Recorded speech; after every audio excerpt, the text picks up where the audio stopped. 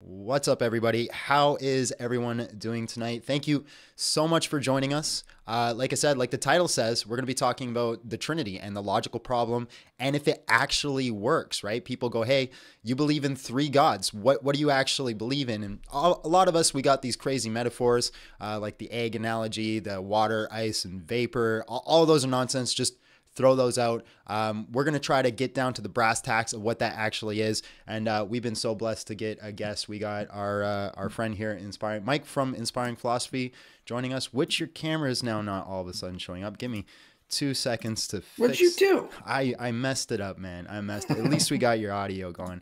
That's all that counts. Hold on, hold on. There I see go. me. There you go. Now I now I got you, but now I got you like. Oh no, that's too big.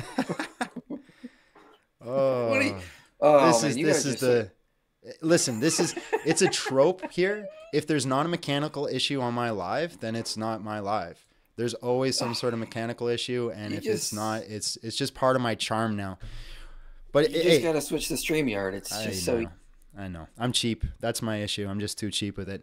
So, hey, man, thanks for joining and thanks for doing this. Uh, I had questions because basically, uh, long story short, is I uh, I was watching Parker on his live, and then Danny jumped in, and they were having a conversation, and basically they went into this whole thing about you know they they had a debate with you, and they were calling you out, and they were doing all that on there, and I was like, what what the heck are they talking about? And Yeah, uh, it's, uh, yeah, it's so a public about that. spectacle.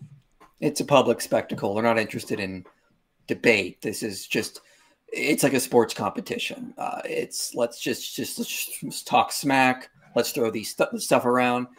They're not interested in having a real conversation. This is about just trying to hype up your side, hype up your tribe, make it all about us versus them, attacking the person, not the idea. I mean, and that kind of stuff, that's immaturity. I'm gonna ignore it like a normal person would.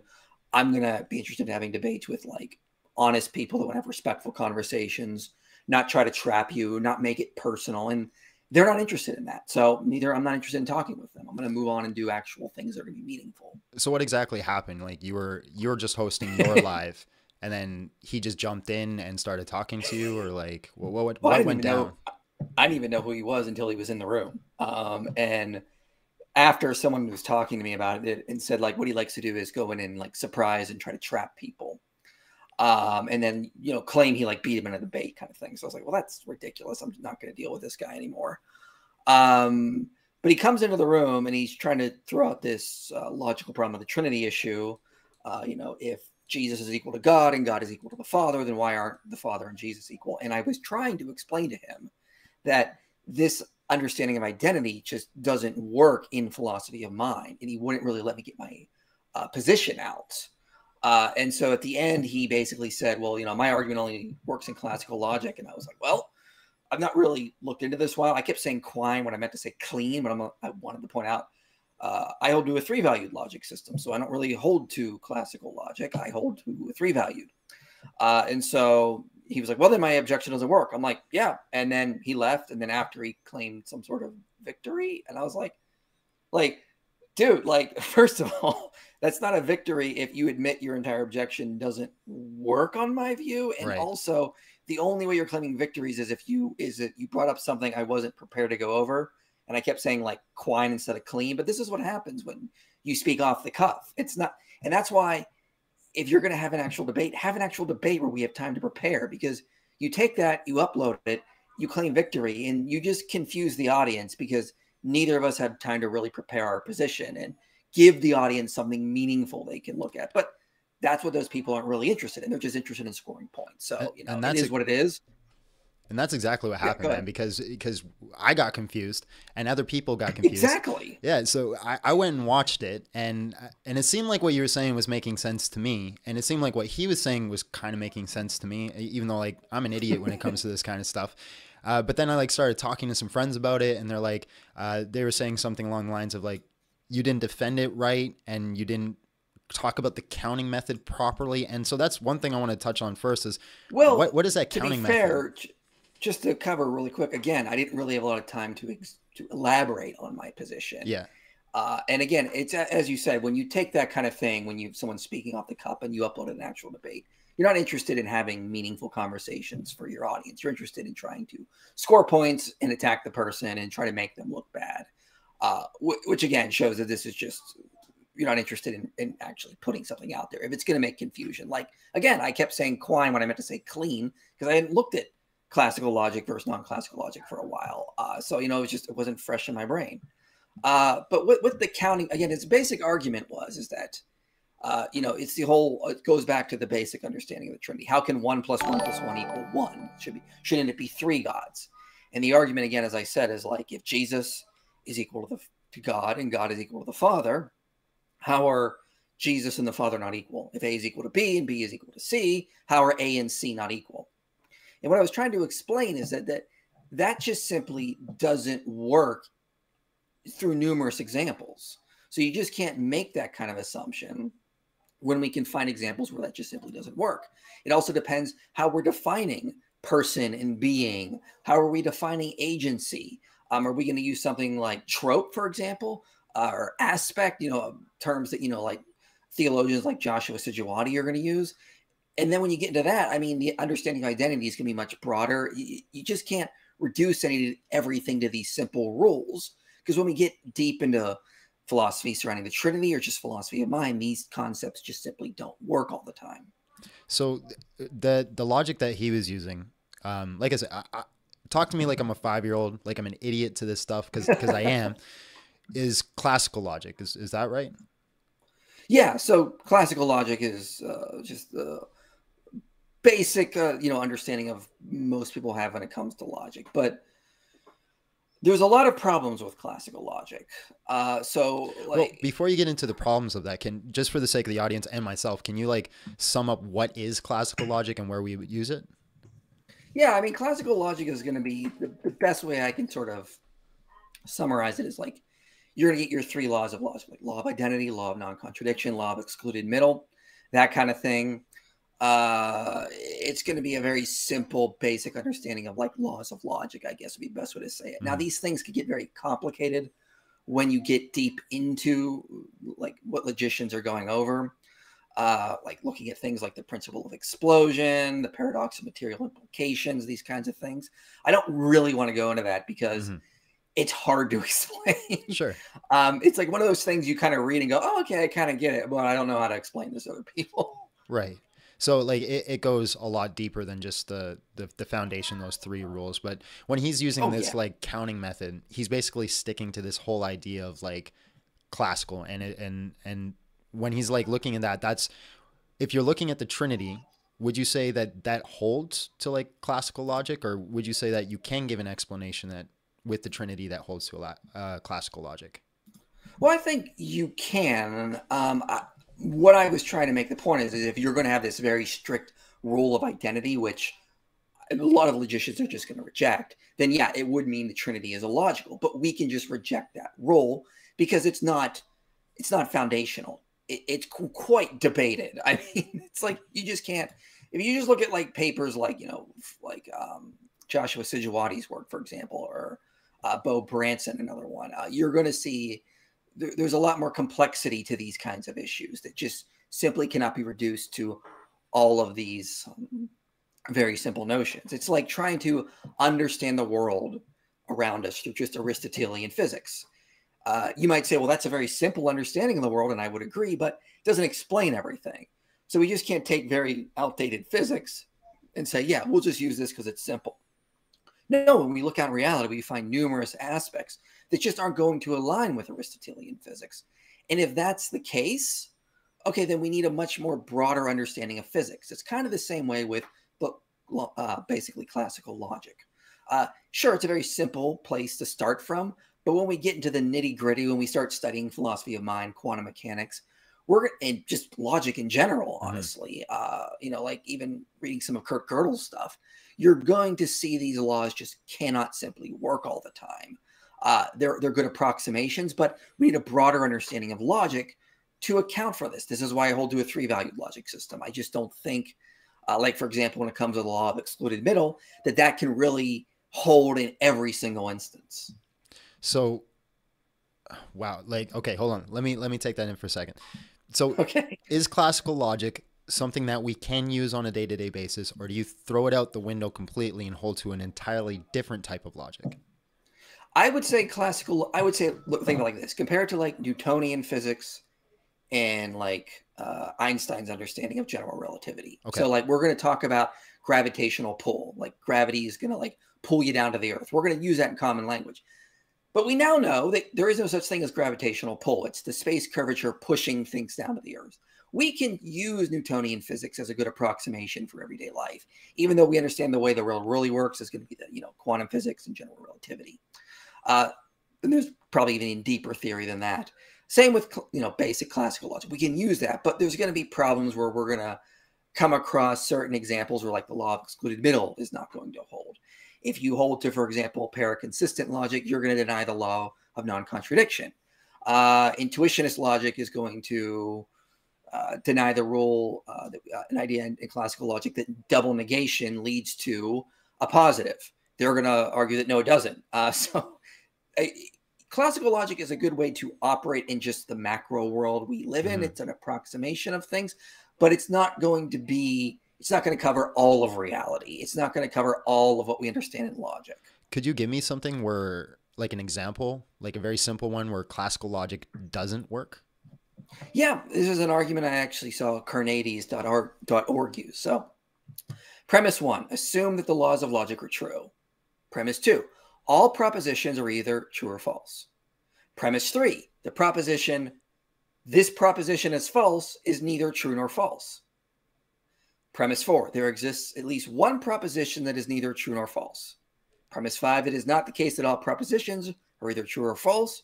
Premise six, it both is and is not the case that all propositions are either true or false. Conclusion, therefore, the laws of logic are not true.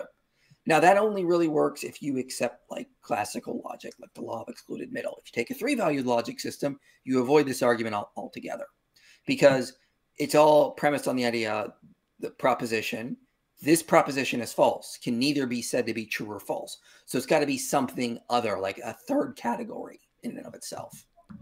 You really know how to make a guy feel dumb.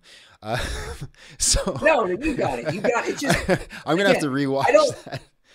I don't want to spend too much time talking yeah, about yeah. this because again, this can get very complex. Deep. I mean, like if you go to like Gödel, for example, he shows like that, and sometimes in mathematics, a double negation has to mean a negative, right? A negative. It can't mean a positive. So this is a problem for classical logic. I mean, there's that. There's like, as I mentioned, the paradox of material implications. Again, a lot of this stuff is very complex. I don't even fully know if I can explain it all yeah, well. Yeah. But like my whole philosophy around this is, is like, we don't need to really talk about this. Let's talk about uh, looking at reality and seeing the way lo- like reality works and then trying to understand logic from our understanding of reality. Like we should use our understanding of logic to help us understand reality, but then reality should in turn help us understand logic. And so this is the point I was trying to make. So yeah, and that makes sense. So basically, if I was to kind of like uh, bring that down a little bit, what you're saying is we shouldn't presuppose the laws of logic are true and apply them to the world because then if something happens in the world, it kind of crushes our foundation. Instead, we should look at the world and try to build our logic off of that. Is, is that what you're saying? Yeah, kind of. I mean, I would probably say we can start with the assumption the laws of logic are true. But if sure. we go out into reality and we start saying, well, you know, it doesn't work in quantum mechanics, it doesn't really work in philosophy of mind, um, maybe these are uh, more, we should think of these more as like approximations for how we understand and go through life. But there are going to be instances where logic seems to be, needs to be expanded upon, I guess. And this is where non classical logic comes in, whether we're going to take you know, a three value logic system, a many value logic system, intuitionist logic, paraconsistent logic, quantum logic, which is something altogether not really even inconsistent with classical logic, but that's a whole other story. I mean, again, very complex. Sure. So if classical logic isn't the only way to hold this, um, I, I, one of the questions I wanted to ask is what types of logic are there? But I'm guessing there's a lot to go through. So what do you what do you hold to? Like like when somebody asks you, hey, you know, what foundation of logic do you hold to? What what's the answer you give? A three valued logic system. So propositions could be either true or false or, or something else. It's it's it's it's saying there's there's vague boundaries in between these types of things. There's vague boundaries in between identity uh, or you know true and false statements. Uh, so we we basically reject the uh, determinant uh, of certain properties. Uh, it's hard to really say sometimes. That we can't really put strict borderlines on things. Uh, okay. So that's kind of the way to look at it. And again, not everything's going to be true or false. That's just uh, um, an idea of three value logic system. So can you give me can you give me like a rough example of like um, you know some premises that you'd bring forth with a three valued logic system? Well, I, I did earlier. I mentioned that that's argument, the same thing. Uh, same kind of idea. Yeah, yeah okay. that's what I was sort of getting at. Yeah. Okay. And um, so, how does that now start applying to the Trinity, right? Because if you're saying that the Trinity doesn't fully hold to classical logic, from your point, if we're using this three valued logical system, how would we apply it? And how, how will we give it on a pop level, I guess? Like, how, how is someone like well, me going to give that to like your average person? Well, let's let's let's move away from just talking about logic itself. Like I said, let's just start talking about uh, what we experience in reality and okay. then just sort of working from there.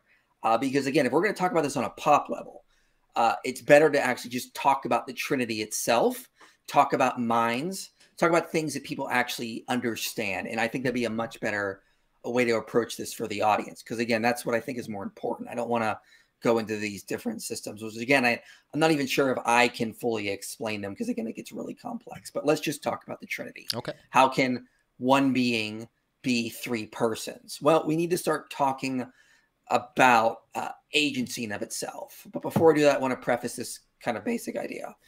I don't think the Trinity is illogical. I think it's just incomprehensible to the human mind. And that should make sense to us because, for example, um, the physicist Stephen Barr wrote a book called My, uh, uh, what is it called? Uh, Modern Cosm, like, it's like like I forget now the it's break. I'll remember here in a second, but um, basically he points out in the book that um, uh, you can have universes with multiple spatial dimensions. Like you can basically have you know a, a, universe with like four dimensions or five dimensions. The book is Modern Physics and Ancient Faith. That's the Stephen Barr's book. Uh, so you can have a universe with like four or five spatial dimensions. Now I can't even picture that. I don't know what that would look like. But then Barr goes one step further and he says, but you could also have a universe. It's entirely logically, perfectly normal in logic, uh, in mathematics, to have a universe with multiple dimensions of time. Now, I have a hard time picturing what it would be like to be in four dimensions of space, let alone two dimensions of time it's incomprehensible. But according to the mathematics, it's completely logical. So does that throw away like a a, a theory and B theory into like whole different types of theories of time, or is it still within those two? It would still be something. I mean, those are different theories of how to understand our time, but okay. this would be saying there could be, you know, two B or A theories of time, I guess you could say. Uh, so it's completely logical from our understanding of mathematics. It's just incomprehensible. I would say the same thing when it comes to the Trinity. So we need to start by understanding uh, what we mean by an agent. So, how would you define an agent? Um, so, usually when it's asked towards me, I'd say, I think, therefore I am. That's how I would mm-hmm. define that, an agent. Yeah. yeah. Markus Schlosser says, in very general terms, an agent is a being with the capacity to act. An agency denotes the exercise or manifestation of this capacity. Very simple understanding of agency. You act, you do things, you decide between different desires in your head, different dispositions, different ideas. This, this is you being an agent. However, there's another way to understand agency. So, for example, Alfred Mele says, you know, like we decide between different desires, but no desire floats free in a desi- desiring being. So, your desires are still part of you, mm-hmm. even though you as an agent decide between them, right? Right. Right. So, yeah. Yeah, I mean, so with Daniel Dennett's, well, let me, so before I quote Daniel Dennett, let me say this like, there's another way to view your agency. You have that narrow sense that decides between different as different um desires you may have. And then there's the broad sense that would include all of your goals, your dispositions, your desires, your dreams, your thoughts, your emotions. All of that is still you in some other sense, some other aspect. As Daniel Dennett says, I've created it and, and unleashed an agent who is myself. If it acts to produce harm, the manufacturer is held responsible. So think of it like this if I'm, I don't have to consciously decide when I'm driving my car to push the pedal and turn the wheel. I just do that automatically. But if I get in a car accident, I can't be like, well, you see, officer, I didn't actively consciously push the pedal and ram into that guy. I was daydreaming. It was it was just my um my uh, brain running on autopilot.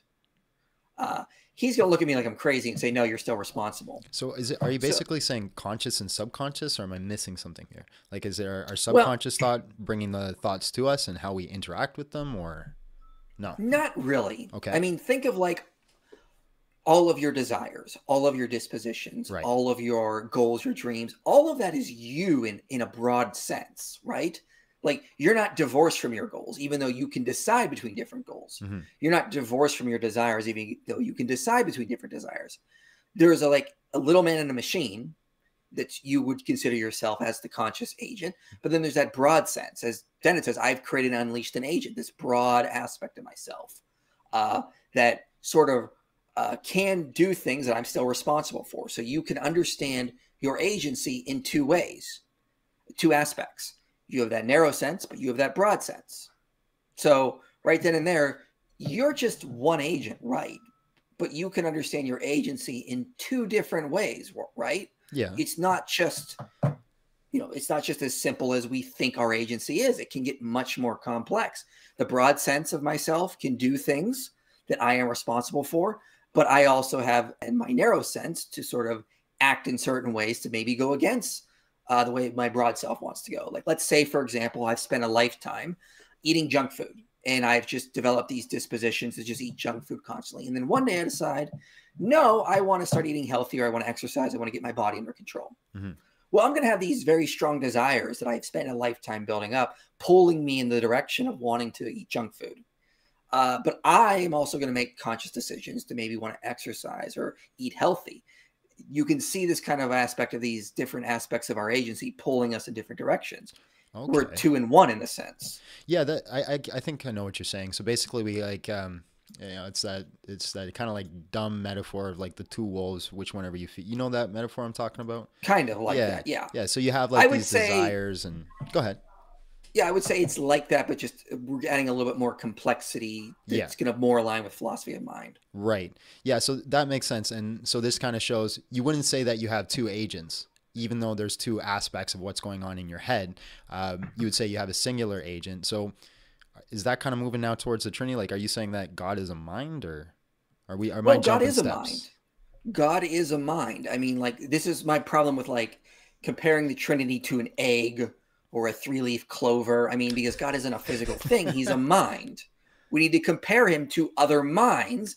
And if we're going to make an analogy to the Trinity, we need to compare him to a mind. And so that, that's an important thing to do when we're talking about the Trinity. Stop comparing him to water or sun or a, a three leaf clover. I mean, that, that's just not a good way to explain the Trinity.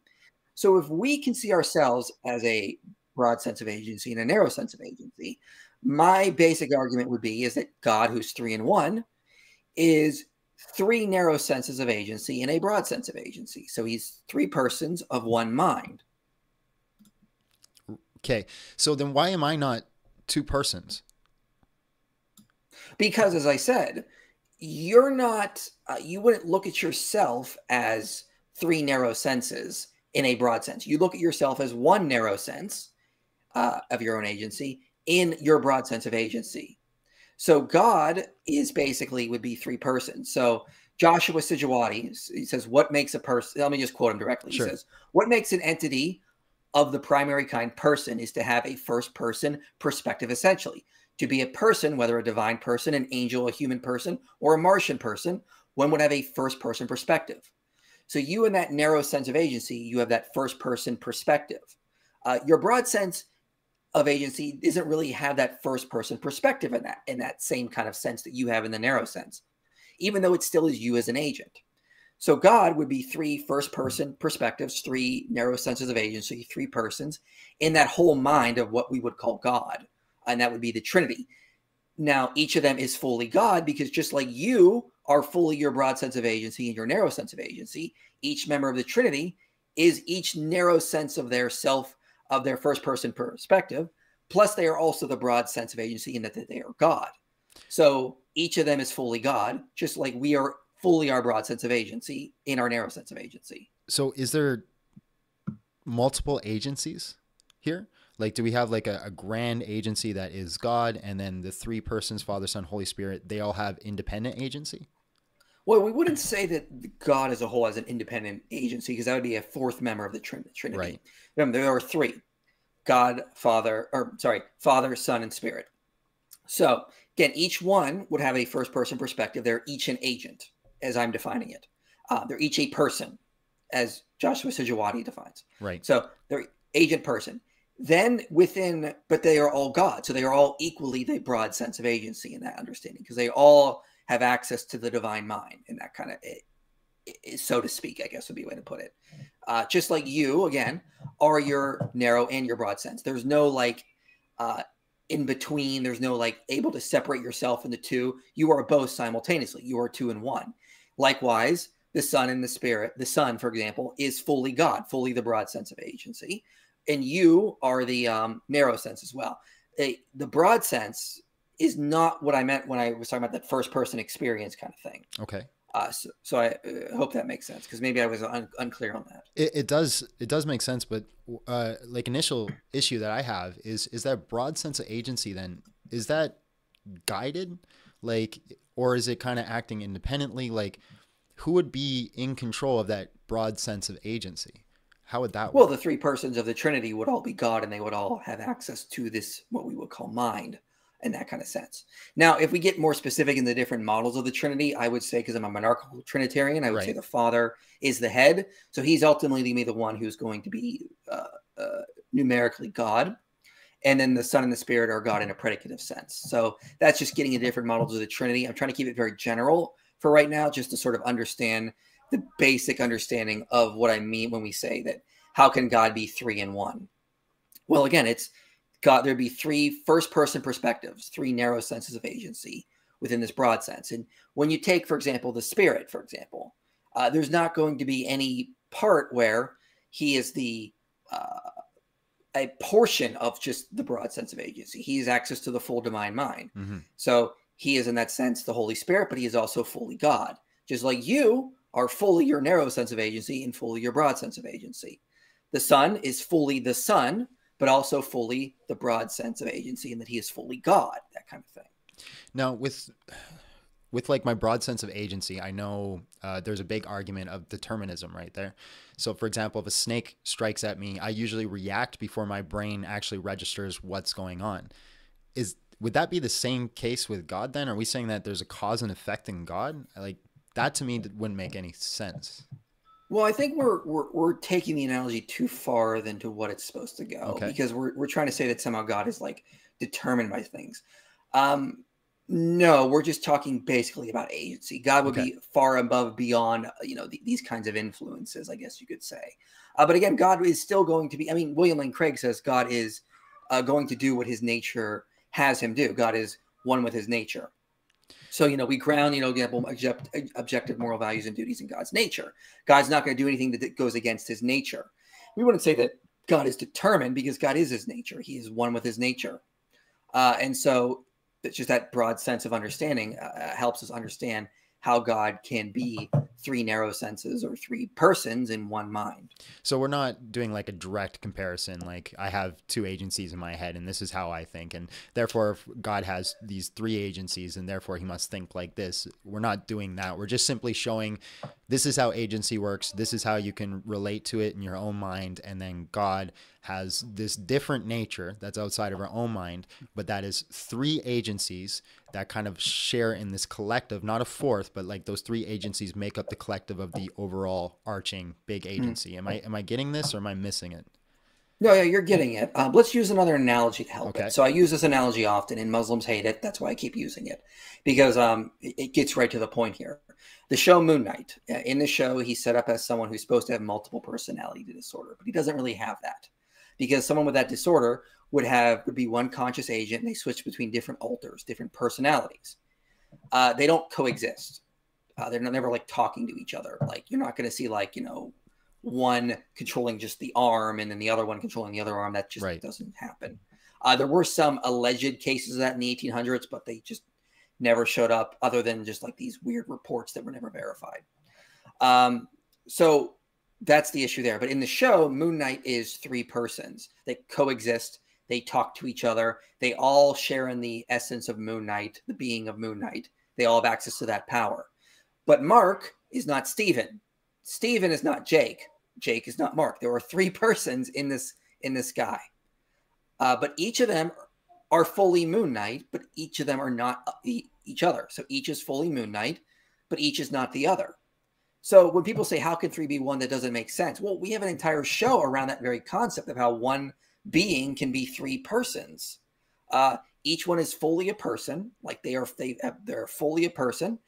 Uh, but they are all of one being, namely that of Moon Knight. So within that show, we can see a perfect analogy for the Trinity. Now it's it's an analogy, so obviously, like we're talking about a created being that exists in time, it's not going to perfectly represent God, but it does represent how a being could be three in one. It's not hard to imagine. It happens right in a show. I can I can hear the Muslims right now saying this guy said that God has multiple personality disorder. I you can, see, I, I can. You see it. what he said. Oh, they already have. They already have because instead of actually trying to understand what we're we're talking about, they have straw man. And so I laugh because they just make fun of it. But I mean, all they can do is either dismiss it or make fun of it. So it tells me it's a good analogy. Okay, and uh, so I'll, I'll kind of jump on this. Um, don't don't we kind of end up with like those three persons that that are in you know what's his name's head from Moon Knight, would you would you use the counting method with them if we were to like hold that viewpoint from a natural like if we're not looking at God and we're just looking at the character in Moon Knight, will we use the counting method there and would it work? No, it wouldn't. That was my that's my basic point when using that analogy. The counting method just simply does not work there. Uh, because again, each one is fully Moon Knight, but each person is not each other. I mean, Mark is not Stephen, Stephen is not Mark uh, but they are both fully Moon Knight. Uh, and so, you know, and they're all, it's, this is one being. There's one Moon Knight. There's not three Moon Knights. There's one Moon Knight because uh, when Mark is acting as Moon Knight, Stephen cannot uh, come out and like, you know, take control of the physical body because Mark is in control. So there's one Moon Knight, but there's three persons is the point. And so within that analogy, uh, we can fully see how you can have a being who is three persons. So you have in Moon Knight, again, you have three narrow senses of agency in this broad sense of agency. They are Moon Knight, you can understand it's a whole broad sense. The whole mm-hmm. powers of Moon Knight is that whole broad sense. But in there, you have three persons or three agents. You know, as soon as you use the Moon Knight analogy, it, I think it finally clicked. I think I finally got it. Um, That's so, why I use it. It's, hey, it's perfect. It's good. I like it. So if somebody comes to you, like, because in all honesty, the way today's the world's going, James White made this point uh, that the average Christian can't just get off, get away with saying, you know, God loves you and I felt His presence, and you know, we have to study and we have to be more knowledgeable because people are getting access to YouTube, they're getting access to podcasts, they're getting more information, and they're learning about these logical problems. So if somebody comes to them with the logical problem of the Trinity, what would be your, your like your best way to kind of like shut that down and give them a good explanation without going to like these deep philosophical problems? Well, I mean, I would I would do the first thing I said, or one of the earlier things I said, which is, um, look, there are entire Stephen Barr notes there's entire universes. It's entirely mathematically, logically possible for a universe to have multiple time dimensions. Now, I can't comprehend that, but it doesn't mean it's illogical. So maybe the Trinity isn't illogical; it's just incomprehensible. Wouldn't we agree on that? Uh, let, let's start there. So then I would go to the Moon Knight analogy. Look, here's a perfect example of how a being can be three persons. One being, three persons, right there. If there's an entire show built around this concept, obviously it's not in a logical concept for a, a being to be three persons. Uh, you know, and then, you know, I would start, if, if, that doesn't work, I start going into philosophy of mind, uh, talking about the understanding of agency. So let, let, let me bring up this. Like Muslims always say, well, why was Jesus talking to himself? If, if you know, if God is, if if Jesus is God, was he talking to himself? No, he was talking to the Father. Well, it's one being, right? It's one God. Look, have you ever had a dream? And in your dream, did you talk to somebody in your dream? Like I had a dream one night, last night, I was talking to people. Uh, I was on some sort of island or something. I don't want to go into it was weird. no, come on, come I, on, share the dream. Get all the details. All right, I ahead. don't really remember, but I know I was talking to people in the dream. Who was I talking to? Me. I was talking to other, persons in my mind that are just a part of me in some way or they're an aspect of me in some way. When you dream, you're kind of talking to yourself. You're not talking to other people because you're just in your mind. So we understand from dreaming that your brain or your mind, I would say, can create multiple persons that you can engage with, that you can talk to. Uh, so again, Moon Knight Show shows that three persons can be one, but also in our own understanding of mind, we understand that our consciousness can produce multiple persons that you can actually have a conversation with, uh, even though it may not even feel like you're talking to yourself, but in some sense, you kind of are, because that's what happens in dreams, doesn't it? You're not talking to other people unless you get possessed. So, with that being said, could God, like I, I know we believe that God has been three persons for all eternity, but if he chose to, could he become four persons? Is that a possibility? I think if God chose from eternity, he could. I think three is enough to be a community. So, you have, I think it's enough to represent true love. So, you know, you have love is not like Richard Swinburne talks about this. Love is not just between two people. Love spills over into a third, and uh, like a family. To have true communal love, you need at least three. And I think that's all that is needed. We don't need more persons of God. Sure, he could be a million persons if he wanted to, but it's not necessary. I think three is the minimal amount we need to get a community. So that's why I don't think God goes beyond that. I think you're gonna have to rewind there. Are you saying God chose to be three persons? That just wasn't his state of nature. Well, I would say that it, it's an aspect of who he is, sort of like sort of sense. So it sort of just flows from his nature. Um, and again, his choices are going to come from his nature. It's not going to be, they're not going to be divorced in that kind of sense. Like he's going to make an arbitrary choice or something like that. It's going to be something that comes from his nature. And I'm just using choice because, again, we're to help explain what I'm getting at here. Yeah. I mean, obviously, God doesn't actually, who's who's a timeless being, goes from a state of not choosing to choosing. I'm just sort of using this these terms to help sort of explain how it would act be. Yeah, I think I think it'd be fruitless for us to try to understand God's mind. We'd be here all day and just kind of get lost. we will we will be spending eternity trying to understand God's mind. Yeah. So try I, to wrap your head around that. I would get sick by the end of the conversation. So this is a very um, complex thing, right? Like if we have to jump outside of classical logic, why not hold to a viewpoint like modalism or or any of these other things that the churches call the heresy? And I think there's a few of them that people hold to that the churches didn't even call a heresy. Why, why not just hold to that? It's it seems simpler. Well, because you said it, it's heresy. This is not what Scripture teaches. Scripture clearly teaches uh, that the Father, the Son, and the Holy Spirit are all God. Uh, we cannot get away from that. That is just simply a fact of Scripture. This is why all the early church fathers from, you know, Ignatius, Justin Martyr, Irenaeus, Clement of Alexandria, Origen, they all taught Trinitarianism. Origen taught a subordinate form, but you know, we don't have to talk about him. Uh, but yeah, there's just no way to get around this. This is just what the church taught. Is because this is what scripture taught, and we need to recognize that. Well, there's a there's like a big group of people coming out saying, uh, even like in the scholarly realm, we might be changing topics a little bit here. So if, if you don't want to jump into it, we don't have to. But they're saying that Jesus never claimed to be God. That's that's not even a thing. So what, what would be like your quickest way to refute that one? All right. Well, now you give me a second. I'll pull up a slide here because I actually wrote some notes down here. Uh, yeah, that's just nonsense. Jesus claimed. I mean, just read the Gospel of John over and over again. Jesus is clearly claiming to be God, and to deny that is just absurd nonsense. Uh, so here, I'll just give you a quote here uh, that I like to use. I just read in a recent book. So the book is The Historical Jesus in the Temple by Michael Patrick Barber. Now, if you go to places like Matthew 7, Jesus says, Not everyone who comes to me and says, Lord, Lord, will inherit the kingdom of heaven. And we go, Okay, whatever. Well, Jesus just said he's God there. So Michael Patrick Barber says the double uh, the, the double um, expression, Lord, Lord, is applied to Jesus in the Sermon on the Mount, Matthew 7 21. As Jason Staples has shown, this expression always represents an allusion to, to tetragrammaton in the Septuagint. In places where the Hebrew has Adonai Yahweh, the Septuagint has Lord, Lord. So a Jew in the Second Temple period is not going to be calling themselves Lord, Lord, because that's literally to say that you are the God of the Bible. Uh, he, Patrick Barber also says this: a scene in Matthew 14 stands out. Jesus exercises a unique prerogative of, of, of God, namely walking on water. Other aspects of the story also suggest Jesus is being placed in the position usually assumed by Yahweh. Jesus is the subject of a cry for salvation. He extends a saving hand and he stills the storm, keeping in mind uh, the preceding point that Lord, Lord evokes the divine name in the Septuagint and that is applied to Jesus in the Sermon on the Mount. Peter's use of Lord in Matthew 14 is not insignificant. Its use here is, is suggestive of the Greek version of Psalm 69. a psalm that many have detected in Matthew's passion narrative.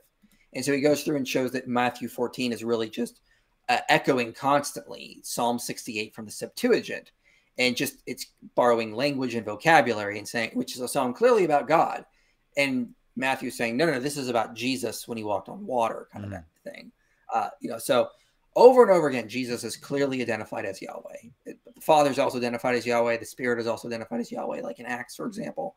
Uh, it's just, it's undeniable. There are three persons that are all God, but there's only one God. This is why we saw Tertullian, for example, come up with the term Trinity to explain this. Why we saw Clement of Alexandria use the same type of language and use the term Trinity to explain this. Same with, like, for example, like um, um, Theodosius, for example, clearly taught this. I mean, the Odes of Solomon clearly teaches this. It's very clearly presented in the early church. Okay, and so kind of more on like um, your your theology. Would you say that somebody has to like have knowledge of the Trinity and believe in that uh, to I, I wouldn't say be saved, right? Because I don't like saying that. Mm-hmm. Um, I would say more along the lines of like be in that communion with Christ. If you want to call yourself a Christian, you have to believe in the Trinity. No ifs, ands, or buts. Mormons are not Christians. Jehovah Witnesses are not Christians. Unitarians are not Christians. If you deny the Trinity, that is heresy. You're out. No, no exceptions. This is why I would say Protestant, Catholic, and Orthodox are Christian. Why? Because accept the Trinity. Uh, deny that? No, you're not a Christian. Now, what about ignorance towards that? Ignorance is a different story. Yeah. Uh, you know, again, go to places like John uh, 9 41 or John 15 22, where Jesus said, Because I have come, they are guilt. Uh, now, because I have come and now they know they are guilty and they have no excuse. If I had not come, they would not be guilty. So that, that's a different story. I don't think ignorance is necessarily that big of an issue. But if you are made aware of this and you still deny the Trinity, you're outside of the body of Christ. And do you think uh, Second Temple Judaism had a concept of the Trinity, or you think this is something that came later? Well, we do see, for example, in Philo, him talking about uh, God working uh, to create creation through His Spirit and His Word, and he identified them as other persons. Now, he was not a Trinitarian; he looked at these as like other created type entities. But mm-hmm. we do see uh, aspects of this throughout, uh, for example, uh, Second Temple Jewish thought. The idea of like, well, how is Yahweh up, you know, in heaven, but also on earth? Uh, and so the scholar Benjamin Sommer wrote a book called The Bodies of God. And basically, in the end, he says, Well, I got no real objections to Trinitarian theology because I see a multi personal God throughout the Hebrew Bible. How can I then be, have a problem with the Trinity if there's a multi personal God throughout uh, the Hebrew Bible. And so you can also check out the book, The Two Powers in Heaven. Yeah. Another Jewish, yeah, another yeah. Jewish theologian making the same point.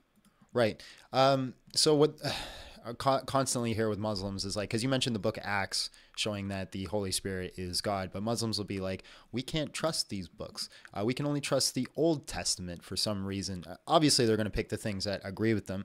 Would you say that there's a strong case for the the Holy Spirit being God in the Old Testament, or if you have that off the top of your head by chance? Say that again. Sorry, I kind of broke up. It may have been me, but you broke up there a little bit. Say that again. Yeah. So in the Old Testament, would you say there's a strong case for the Holy Spirit being God there? Can we see that? Do we do we have an argument there, or is it strictly only going into the New Testament? We could see that with the Book of Acts.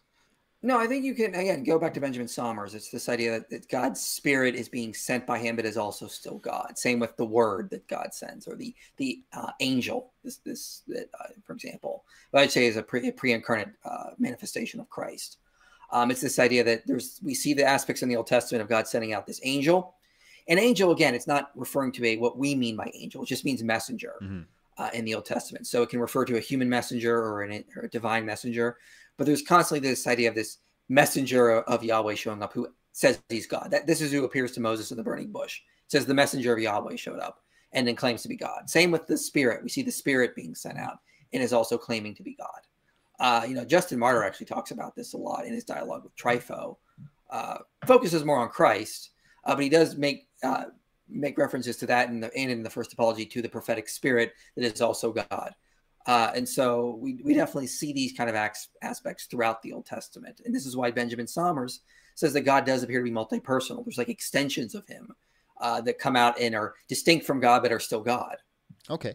Um, in all honesty, man, I think you kind of nailed all my questions. So I, it's a short live, but that's all I really got for you. Do you have any more you want to well, add? here I want to, I want to add something else here. So people get mad at Trinity. Like, why would God uh, reveal this? Isn't it going to make things confusing and hard for us? Let me quote from Edward Grant in his book, The Foundations of Modern Science, because sometimes complexity or puzzles, things that we don't fully understand, lead to better things as we try to solve them or Mm. understand them better. He says this. He says certain aspects of their religion, that is Christianity, may also may also have drawn Christians to Greek philosophy. One example is the problem of the Eucharist, with its difficulties about the nature of substances and their attributes. Adoption of a Trinitarian position placed enormous metaphysical burdens on Christianity. Once Jesus was perceived as the Son of God, the problems of expounding the nature of the Godhead were formidable indeed. To help explain such theological difficulties, scholars deemed the, scholars the concepts and terminology of Greek metaphysics essential. Logic was also considered important. St. Augustine regularly used logic to resolve theological problems and thus made a model for later theologians. Uh, strictly Unitarian religions such as Islam and Judaism needed no such metaphysical assistance or apparatus to expand the nature of God, although there was, of course, problems that seemed to be to require some sort of uh, philosophical explication. So what he goes on to basically note is that Christians try to wrestle with the Eucharist in Mhm. Trinitarian theology. Uh, actually had to dive deep into Greek philo- philosophy, and they came up with all sorts of new terms that actually spilled over into natural philosophy. And again, his book is The Foundations of Modern Science in the Middle Ages. His point is basically that as Christians were trying to work through their theology, they inadvertently spurred modern science. They, the, the, their understanding of concepts, their terms, helped grow science in ways that we did we could not have seen back then. So in some sense, God revealing aspects of his nature that can be kind of confusing to us actually helped science develop that we would not have suspected that. So making everything so super simple for us may not be the best thing. Maybe God does need to give us a little bit of complexity, reveal aspects of his nature that are not going to be so intuitive to us to actually help us in ways. And it does appear that Trinitarian theology did play a role in leading to developments in science. Bro, you just blew my mind. That's wild. So, to kind of shorten that up, you're saying God made himself complex so that we study him harder and get smarter. Not made himself. Sorry, he revealed himself. Sorry, let me correct my, my he revealed himself in a, in a complex way. So we study him study him and then we like work in our process of sanctification, quote unquote, and we kind of spring forth this this new and better world. I would say God was three persons by uh, from eternity. It's not something that He did for us. He Yeah. just simply is three. per- He allowed us to have that knowledge because He knew that us trying to wrestle with this would lead to and help the development of science, and it did. Uh, this is what Edward Grant basically notes. So, you know, maybe everything being so simple and tight packed and not having any issues to wrestle with is not so much a good thing. Maybe uh, actually having a little complexity and a little bit of puzzles that don't just fit with our intuition are good in some ways. And we can see this is one aspect. Yeah, amen, man. Uh, so if you got a few more minutes, we'll kind of open it up for chat. Are you good with that? For some Yeah, let's questions, go some for it, Q and A. Uh, Yeah, I saw a question earlier I did want to address um, um, on monarchical Trinitarianism. Um, if I can find it, I will. I will address that one. the one I want to bring up right now is uh, debunk the three in one shampoo, please. Well, I mean, again, God is not a physical substance. We, you know, it's not like that. That's just partialism. Uh, it was just heresy. God, there's not three parts of God that you take one part away, like you take the Holy Spirit away, and now God is not complete. That's just no. Each there is one God. God is three persons. Each person is fully God. Uh, so you know, if you have a three-in-one shampoo, the conditioner is not fully the the mixture you got there. It's just a part of it. So that's just partialism. This is why we need to stop comparing God to Shampoo. uh, physical things. God, compare God to a mind. You know, is there a metaphor you like? Like if you're if you're like I know you Moon like the moon, moon Knight, but like fire, do you like the fire one? You have you heard that uh, one? yeah, Justin Martyr used that one. That one's okay. It's probably going to be the best you're going to get to it. But again, God is a mind compared to other minds. You can compare them again to, as I mentioned, um, you could go into the long, complex understanding of agency. You can compare him to uh, make an analogy to Moon Knight. You compare him to again you talking with another uh, aspect of you in a dream. You know, another person that you have fully manifested somehow. Uh, that kind of thing. It's still in your consciousness, but it's not you, and it's another person. That kind of thing. There's another analogy. Those are the ones I would use. Uh, Choose Unique says, uh, "Can you do a stream with Sam Shamoun on the Quran's view of the Bible in response to a Muslim TikToker? I think Christians would gain a lot more info for that. Do you do you have Sam Shamoun on your your texting texting platform? I don't have his number, but I mean, if he wanted to, I'd be I'd be honored to do that. I don't I don't I don't know if he'd want to do that with me, but it, I'd be okay doing it with him. Um, I did find a question I want to address. The uh, someone said earlier, Timothy said the problem with monarchical Trinitarianism is that you would say the Son and the Spirit lack something, which would make the Son and the Spirit not God. Now, this is not true. As Joshua Sijuwade notes, they share all intrinsic properties. So they share all they share omniscience, omnipresence, omnibenevolence, uh, omnipotence. What the Father has is that the Son and the Spirit don't have is an extrinsic property that is aseity, which is that he is um he doesn't nothing generates the uh, the Father.